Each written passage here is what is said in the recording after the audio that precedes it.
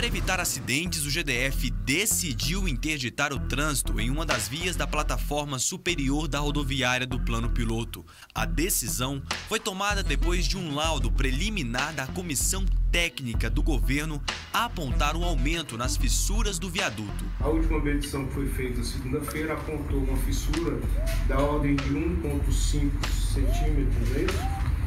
Então, ah, fizemos um contato com os técnicos do Tribunal de Contas do DF que avalizaram os laudos que foram feitos e nós tomamos a deliberação no sentido de interromper o tráfego. A medida pegou todos de surpresa, inclusive o GDF.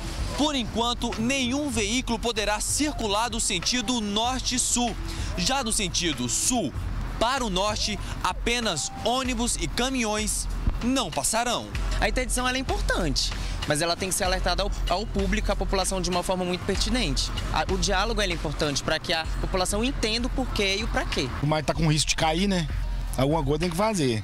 Mas se interditar, piorou a vida. Tem que arrumar uma solução mais adequada, né? Ver o que, que vai fazer para melhorar isso aqui, porque o dia que já tá, tá ruim. Ainda vai piorar. De acordo com o GDF, o viaduto está sendo monitorado desde janeiro desse ano. Esse acompanhamento vinha sendo feito semanalmente e desde o laudo preliminar havia uma previsão de que se as fissuras elas ultrapassassem uma quantidade de milímetros, se não me engano 0,7, haveria um risco de desabamento da plataforma superior da rodoviária. Estou fazendo isso, eu não gostaria de fazer, eu sei do incômodo que vou causar à comunidade, mas eu acho que em primeiro lugar estão as vidas das pessoas que trafegam por ali. Para esse especialista, o tempo e a falta de manutenção podem ter contribuído para esse risco. As nossas estruturas em concreto, que foram feitas para a eternidade, não vão durar muito. Já começam a desabar, acidentes vão acontecer.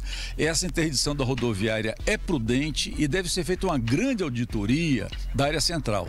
Talvez nós vejamos em mais uma década toda a área central de Brasília ser reconstruída. E infelizmente nós teremos mais desastres se providências muito sérias no nível de defesa civil não forem tomadas. A partir do da licitação realizada, e como é uma emergencial, vai ser bastante rápida a homologação, e a previsão térmica de obras é no prazo de 90 dias.